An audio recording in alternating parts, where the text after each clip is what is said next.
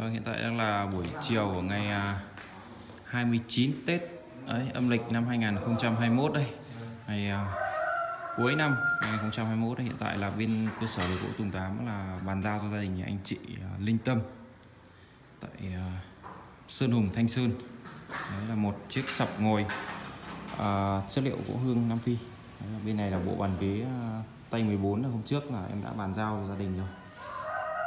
Đây là tiếp tục hôm nay là chiều 29 Tết là đấy, bên xưởng lại bàn giao cho anh là một chiếc uh, sập ngồi gỗ hương đỏ đấy, còn uh, chiếc sập thờ này thì là cũng là của bên xưởng là bàn giao từ năm trước thời gian trước rồi. Đấy. Thì, uh, trên màn hình đây là bộ sản phẩm như không gian phòng khách như là anh uh, chủ nhà đấy.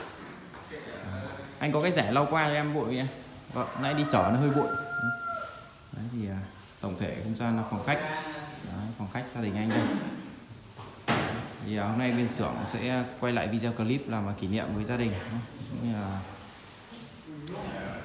để uh, xin ý kiến anh uh, chủ nhà luôn phát anh nhỉ?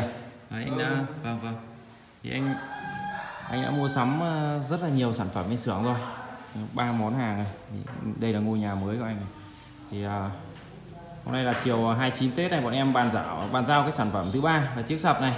Đấy thì trong quá trình sử dụng là ba sản phẩm của bên xưởng thì à, có ưng ý hay là có gì để góp ý bọn em không nhỉ anh nhỉ? Cũng là mình cũng là cũng theo dõi qua xưởng mình rồi cũng À. được một thời gian rồi. Thấy xưởng mình cũng là đồ gỗ rất tốt mẫu mã đẹp chung là gia đình rất ưng ý à, thế thì uh, cũng như thay mặt là xưởng thì ờ, cuối năm thì cũng chúc anh và gia đình là một năm mới là chuẩn bị ờ, đón xuân là nhiều sức khỏe nhé sang năm là làm ăn ờ, phát tài phát lộc Vâng, Đấy, vâng. bên xưởng nhá Vâng, thì ủng hộ rất nhiều sản phẩm xưởng vâng. Đây. Đây, quý khách hàng thì quý khách hàng nào có nhu cầu thì liên hệ à, theo thông tin ở trên màn hình nhé. Đấy, bên xưởng có địa chỉ tại à, Văn Phúc Cẩm Khê và hiện tại chúng tôi đang có mặt tại gia đình anh à, Linh Tâm. Ba sản phẩm là đều của bên xưởng hết. Một bộ bàn ghế à, tay 14 gỗ hương đá này. Sập ngồi gỗ hương, sập thờ gỗ mít.